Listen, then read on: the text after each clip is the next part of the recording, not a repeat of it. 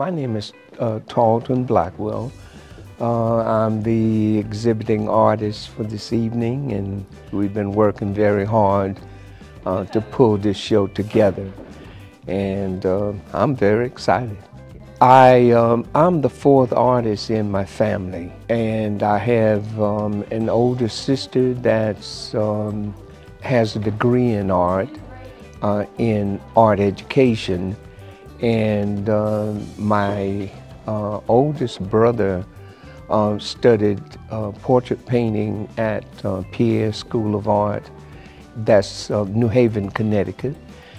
And uh, my um, second oldest brother, that's next to me, um, his, his name was John, and John also studied art education and at uh, Benedict College, and I'm the youngest. So I just fell in line with uh, my older brothers and and uh, and my older sister, and and um, here I am.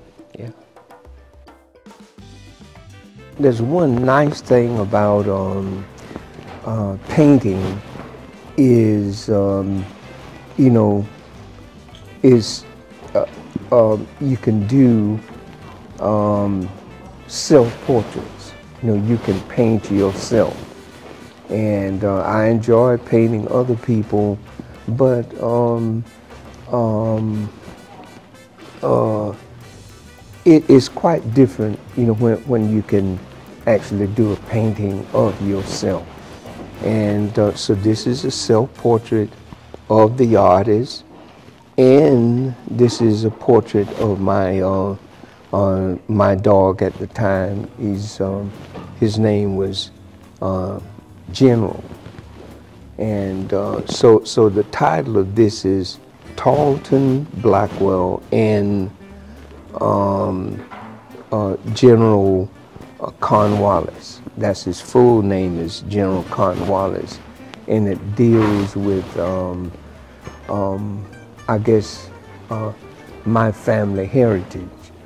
Um, uh, my um, great great grandfather was a British uh, general, and his name and um, uh, there was a conflict between um, his um, um, he at that when he came to America he was a lieutenant, and um, but there was a, a sort of controversy between uh, his general and um, uh, and the lieutenant um. So um, so it deals, you know, it says something about my family heritage, and then um, then it deals with um, you know a portrait of the artist. It's been a really you know wonderful career, and uh, uh, you know, that I couldn't, you know, could share with my uh, brothers and sisters and my community and the, the South Carolina and the southeastern United States. Um, that's just, um, uh, you know, it's been a pleasure. Each piece um, sort of deals with different issues. Um, take, for instance, this piece here. Um, this piece uh, um, is part of my hog series. I think it's something like um, 210 in a series entitled the Hog series. It deals with my, my first objective was to create um, a family portrait. And um, uh, but at the same time, I wanted to say something about, um, you know, the artists I studied. Um, uh, I was at the um, uh, Metropolitan Museum in New York, and um, I was a senior at at undergraduate. I mean, yeah, undergraduate school, and um, I was exhibiting there and we, um, after the reception, my brother um, uh, took me upstairs to the Baroque section, and I saw a work by Velasquez. Um, the uh, he was a court painter, and um, I just fell in love with that little painting. I saw his technique, and and um, uh, so I spent, you know, um, um, ever since then I've been studying uh, the works of um,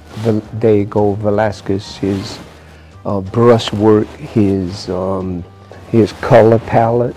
You know, as you stand up close, all you see is just um, brush strokes and different patches of colors and but then as you stand off, as you gradually back away, then the images start to come together. This is my family. And, and then this was my little pet at the time, a little pit bull. And um, uh, so also I, um, this shepherd was um, one of my dogs. And uh, that's my mother and father. That's reflected in the mirror um, my brother John, my um, three sisters and brother uh, Russell, and of course the artist right here. Yeah. So it, it, it depends on how you want to look at it. What is the importance of having access to fine art in a rural place? Mm. Well, uh, my my brother and uh, my um, sister that was studying um, doing her undergraduate work when I was just um, uh, in the grade school, um, and then she would, you know, bring um, her art books home, and I could look in those books and and um, you know learn about different little techniques. And uh, that was you know one of my outlets. But we didn't really have you know there weren't any um, uh, I didn't take art in the public schools until uh, I was in the ninth grade. You know we just didn't have um, um you know we didn't have like an art program in the lower grades. And uh, so, and then in the, you know, high school, um, when I started in the ninth grade, it was just very limited. Do you think it would have made a difference? Uh, oh, it would, would have. Would, would, it, it would have. And, um, you know, looking for inspiration and uh, and we just didn't have it, you know. Uh, but but um, you know, I could see if you know something like this and could meet an artist and then talk with them and and um, uh, it would make a big difference. It would have made a great difference, but you had to go with what you had.